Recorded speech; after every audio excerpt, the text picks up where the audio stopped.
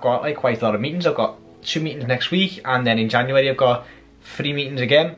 Uh, the way I do it is basically, hang on, uh, the shoulder. Basically what I do is I give 10% commission to anyone that can get me either a client or a project. So say for example, I get uh, I get a client on a retainer for a thousand euros, then that person who has got me that client gets 100 euros for every month that that client is with me.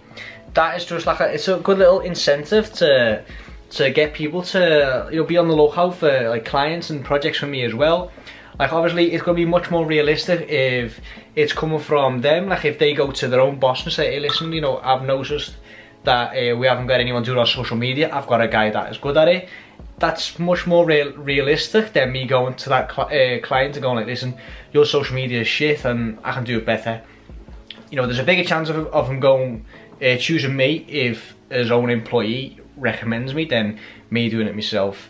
Anyway, just want to like pass that on to you guys. I don't know if anyone's into social media marketing or anything like that, but think about it, you know, try and give commission out to people that are loyal to you and that recommend you to others.